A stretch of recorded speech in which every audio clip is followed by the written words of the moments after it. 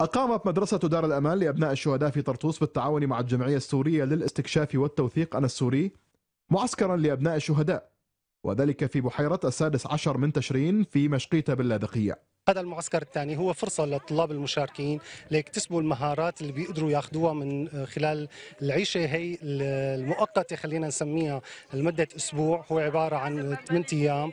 بيكتسبوا فيها مجموعة من المعارف بتأهلهم للحياة بالبرية والتأقلم مع الطبيعة. معرفة البيئة السورية على عن قرب من جميع مكوناتها. الهدف منه هدف معسكر تدريبي آه، لأجل رفع اللياقة لأجل التأقلم مع الطبيعة لأجل التعامل التعرف على بعض. نحن بنطلع من بيئات مختلفة ومن محافظات مختلفة بنجتمع بقلب بقلب المعسكر. آه، تنظيم الوقت الاعتماد على النفس التعرف على المناطق المحيطة بمشقيطة أو بحيرة 16 تشرين. ضمن الفرقة حاولنا ننقل عدد من مهاراتنا نحن متعلمينها. أو تدربنا عليها بالبرية أو بالمعسكرات تبعنا اللي كان في عندنا خبرة. حاولنا ننقل جزء منها المناسب للأطفال أو المستكشفون اللي هنا موجودين معنا. نحن طبعا عم نقوم بعدة فعاليات بعدة أنشطة. آه، منا مثلا رحنا على جزيرة الغزلان. في كمان نشاط رح يكون اليوم أو بكرة. آه، رح يكون آه، مسير ليلي. إجوا لهون انبسطوا كثير كثير كثير الجو حلو لطيف. حبينا إنه نتفاعل معهم ونكون معهم ايد وحدة. كثير الشغل كان منيح ودائما المدرسة على تواصل معنا. هاي المشاركة المشاركة الثانية إلي مع الجمعية.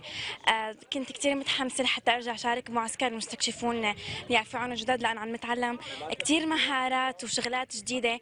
عم تعزز ثقتنا بحالنا عم تزيد اعتمادنا على حالنا. آه، أنا من فرقة السلمندر آه، إنه جابونا إنه مدرستنا عملت لنا المعسكر مشان نتعلم شغلات جداد إنه مثل عقد ربطات كيف نستخدم نشتعل النار كيف نتحمل مسؤولية حالنا. وكثير حلو المعسكر.